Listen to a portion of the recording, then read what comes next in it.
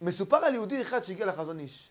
כולו מיואש ומתוסכל אחרי השואה הארורה שהוא עבר.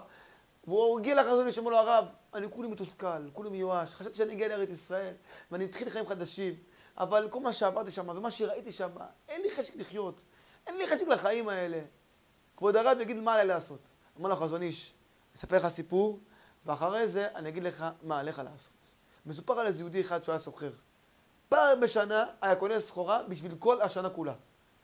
שנה אחת הוא נאלץ לשלוח את אשתו לחוץ לארץ שהיא תקנה את הסחורה, אמר לה לאיזה סוחר להגיע, ואמר לה את כל ההוראות שעליה לעשות, והגיעה אותה אישה, אשתו של הסוחר, לחוץ לארץ. היא רגילה לברבורים, לילדים, פתאום רעש, צעקות, בלגן, שמש, חום, התעלפה על המקום. לאחר שהיא התאוששה, קמה על רגליה, אמרה, איפה נמצאת? הבינה מהר מאוד איפה היא נמצאת. אין לי זמן להתפנק פה, אני חייבת ללכת לסוחר. הגיע לסוחר, וסגרו ביניהם את העסקה, כמה צריכה לתת לו על כל הסחורה, למשך השנה הגדולה, ובא להוציא את הסכום של הכסף, והיא מגלה שהמזוודה של כל הכסף נעלמה. אמרה, יואו, מה אני אעשה? כל החיים שלנו נמצאים במזוודה הזאתי. מה, אני, מה נעשה? מה יקרה? מה יהיה? התחילה לצעוק צעקות, שאלה אנשים, אם ראיתם את המזוודה, עשתה בלאגן, בלאגן, ואדם אחד אמר לה, תשמעי, שמעתי איזה בן אדם שהוא אמר שהוא מצא מזוודה. ניקח אותך אליו, ותדברי איתו את...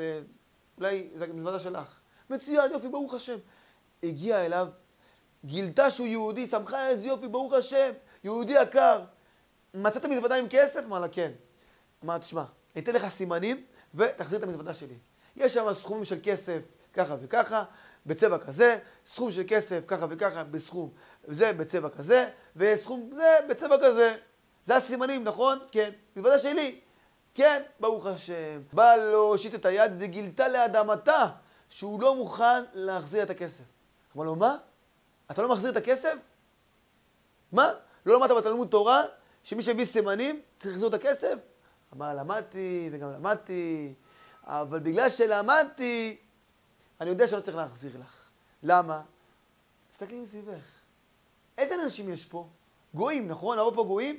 וההלכה אומרת שאם הרוב גויים, הבעלים מתייאשו. לכן הכסף שייך לי, ולא לך. מצטער גברתי, לא מביא לך את הכסף. אמרה לו, אתה לא מתבייש?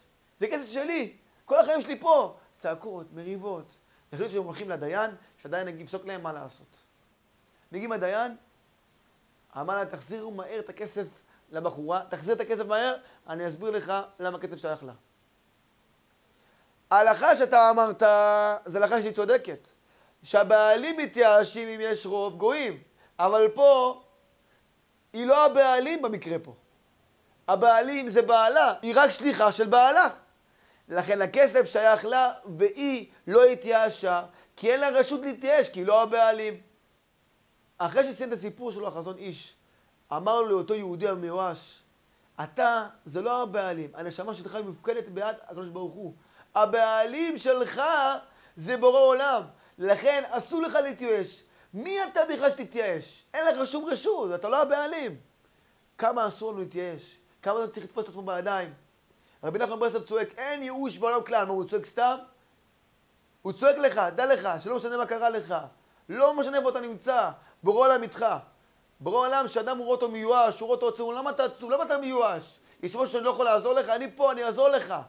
אני הבעלים שלך, אתה רק השליח שלי. אני אדאג לך, אני אעשה לך הכל בשבילך. שליח, הוא עושה מה שבורא עולם שולח אותו. הוא יודע שמה ששלחו אותו, אני לא אחראי לזה, בעלים אחראי. אני רק עושה את שלוחותי, אני עושה, הולך בדרך של בורא עולם, איפה שהוא מוליך אותי. כי יש בעלים, הם מסתתרים את העניינים. אני מתייאש? מה קשור אליי? זה הכל זה בורא עולם עושה, הכל הוא מנהל. אני רק לא אתייאש. אח שלי, אין שום סיבה בעולם שתתייאש. קח את עצמך בידיים, לא משנה מה קרה, לא משנה מה עבר. בורא עולם איתך, הוא הבעלים שלך, הוא יעזור לך. אתה תצליח, אין ספק.